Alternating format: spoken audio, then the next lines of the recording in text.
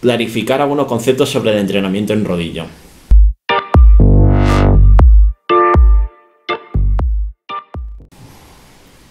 Hola, muy buenas tardes. Pues mira, acabo yo de terminar mi sesión de rodillo y quería aprovechar este momento para hacer un pequeño vídeo y comentar algunos aspectos, eh, algunas creencias sobre lo que, lo que es el entrenamiento en rodillo, de montar algunos, algunos mitos. En primer lugar, yo soy el primero que intenta, por todos los medios, evitar entrenar en el, en el, rodillo, en el, en el rodillo. Prefiero también mil veces entrenar en el exterior como la práctica totalidad de todos vosotros. En muchas ocasiones no nos queda más remedio. Eh, la situación en la que estamos del confinamiento, pues no queda otra y aparte a mí este año las circunstancias personales me, van a obligar a, tirar todo el año de rodillo, así que entonces no va a quedar otra. Siempre se dice que, claro, el, entrenamiento en un rodillo, como es bastante menos tiempo que en el exterior, es menos beneficioso que, que el entrenar en el exterior, algo que es totalmente, totalmente falso. Eh, otra cosa es que el entrenamiento en rodillo hay una mayor percepción de, del esfuerzo y psicológicamente bastante más duro. Eh, siempre también hay una creencia de que no se puede realizar un buen entrenamiento aeróbico sobre, sobre el rodillo comparado con el que se puede hacer en el exterior. También es algo totalmente, totalmente falso, ya que una buena sesión aeróbica de una hora, hora y media, eh, equivale, no diría que tanto a un buen entrenamiento aeróbico en el exterior, pero sí que permite realizar las adaptaciones pertinentes para que sea un entrenamiento bastante provechoso. Eh, pero sobre todo el gran potencial que tiene el entrenamiento en rodillo es a la hora de poder trabajar con, con calidad.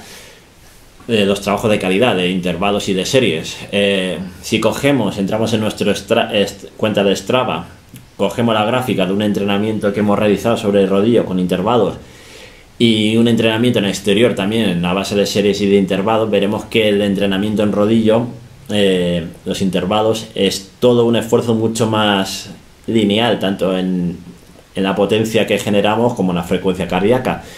Mientras que en el exterior estamos bastante más sujetos a, a factores externos que nos puede alterar un poco el trabajo de, que se realiza sobre ese intervalo. Eh, siempre hay una creencia de que el trabajo de una hora en, en rodillo equivale a realizar una hora y media en el exterior. También es una percepción totalmente falsa. No hay nada que pueda, o ningún estudio que pueda, o al menos que yo conozco haya leído, que pueda cuantificar la equivalencia del trabajo en rodillo con respecto al trabajo en el exterior. Eh, de momento no lo hay y siempre ha existido esa creencia de que de una hora en el rodillo es una hora y media en el exterior también es igual que una hora eh, 100 kilómetros sobre rodillo no es equivale igual que 100 kilómetros en el exterior. También es totalmente falso. Nunca se hay que extrapolar eh, la, carga del trabajo que se hace sobre el rodillo con la carga que se realiza en el, exterior.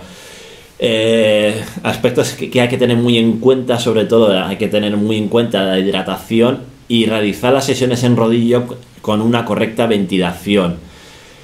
También en el, en el rodillo, por ejemplo, eh, hay que tener muy en cuenta que si trabajamos con la frecuencia cardíaca, eh, es muy complicado alcanzar la frecuencia cardíaca que tenemos programado debido a la, precisamente justamente a lo que estamos comentando antes, a esa ausencia de factores externos. Por ejemplo, en, el, en el, exterior el, viento de cara pues contribuye a que se nos pueda subir el pulso o facilitar el aumento de pulso, cosa que no se va a dar en el, en el rodillo. Eh, por lo tanto, en el rodillo yo, por ejemplo, recomiendo trabajar únicamente en base a, a la potencia. Sobre todo recomendable los que, lo que tengáis eh, un rodillo así de transmisión directa o, un rodillo virtual, que ya los hay a precios económicos. Un Tag Smart Flow, por ejemplo, por 200 euros ya lo puedes adquirir. Eh, y eso es todo por hoy. Pues eh, nada, entre el vídeo de la comparativa de Swift Be Cool y este sobre algunos conceptos básicos sobre el entrenamiento en rodillo, pues eh, a ver si entre todos pues hagamos un más, más partido a, estas sesiones de rodillo que por obligación y las circunstancias no estamos obligados a realizar. Así que nada, nos vemos en el siguiente vídeo. Hasta luego.